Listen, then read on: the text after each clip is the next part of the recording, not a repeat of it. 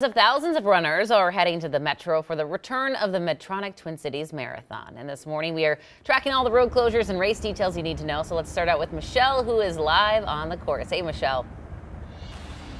Hey, good morning, guys. I'm actually just near the finish line, the Capitol building here behind me, that marking the finish. You can see on John Ireland Boulevard already these roads are closed here, getting ready for this weekend. As we know, this weekend marks the return of this event because last year, remember, there was last minute cancellations due to that unseasonable, record breaking heat.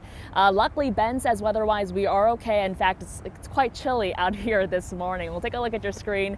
Uh, we do know that as uh, we wait for those exact numbers, organizers told us in the spring they're expecting more than 28,000 runners across all events this weekend, the highlight of which is, of course, the most beautiful urban marathon in America.